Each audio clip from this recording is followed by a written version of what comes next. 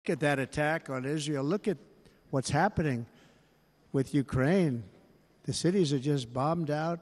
How can people live like that where buildings, massive buildings, are falling to the ground? It began to unravel with the disastrous withdrawal from Afghanistan, the worst humiliation in the history of our country. We have never had a humiliation like that. 13 heroic U.S. service members were tragically and needlessly killed. 45 others were horrifically wounded. Nobody ever talks about them. No arms, no legs, face explosions, horrifically, horrifically wounded.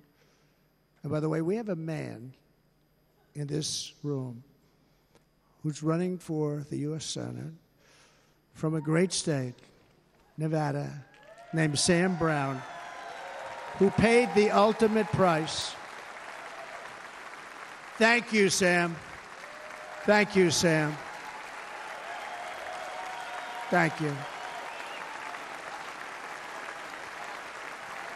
He paid the biggest price probably ever paid by anybody that is running for office, and I think he's going to do great. He's running against a person that is not good, not respected, a total lightweight. But Sam, I think, paid really, we were talking about it with some of the senators that are working so hard for Sam, but he paid the biggest price of any senator ever to run for the Senate. I don't think a really great person, and he's running, and I hope that everybody gets out and votes for Sam Brown.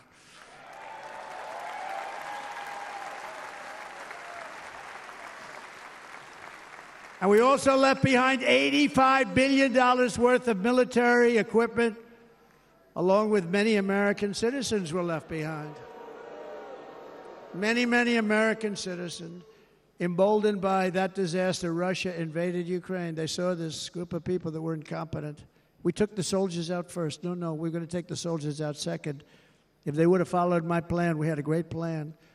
But the plan only kicked in if they did everything perfectly, and they weren't doing things perfectly, so we said it doesn't kick in. You know, 18 months in Afghanistan, we didn't have one, so they were killing them left and right, snipers. And I spoke to the head of the Taliban. You've heard this story. Abdul, still there, still the head of the Taliban. The press got on me. Why would you speak to him? I said, because that's where the killing is. I don't have to speak to somebody that has nothing to do with it. And I told him, don't ever do that. Don't ever do that again. Don't ever, ever do that again. You've got to stop. Because during the Obama administration, many great people and soldiers, but a lot of soldiers were being killed from long distance. I said, if you keep doing that, you're going to be hit harder than anybody's ever been hit by a country before.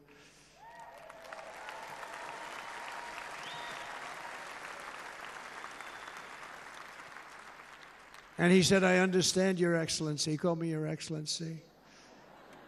I wonder if he calls the other guy Your Excellency. I doubt it.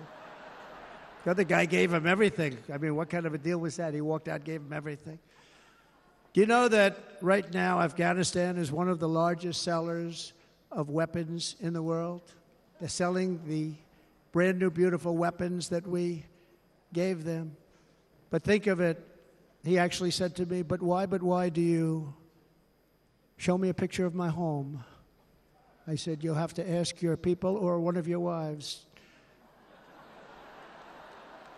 But he could figure it out. And for 18 months, we had not one attack on an American soldier by the Taliban. 18 months.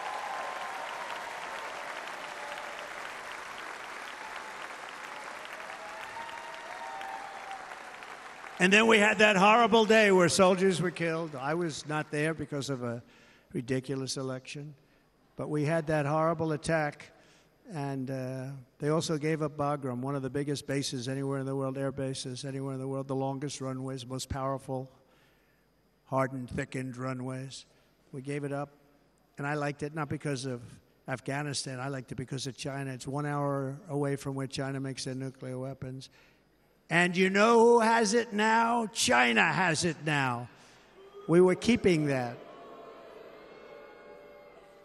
And now China is likewise circling Taiwan, and Russian warships and nuclear submarines are operating 60 miles off the coast in Cuba. Do you know that? No, the press refuses to write about it.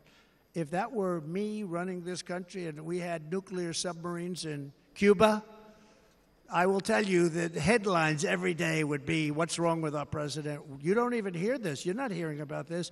Russia has nuclear submarines and warships 60 miles away, Mr. Congressman, from Miami, by the way, happens to be here. Correct? In Cuba.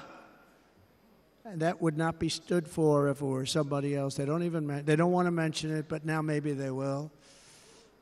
And the entire world, I tell you this, we want our hostages back, and they better be back before I assume office, or you will be paying a very big price.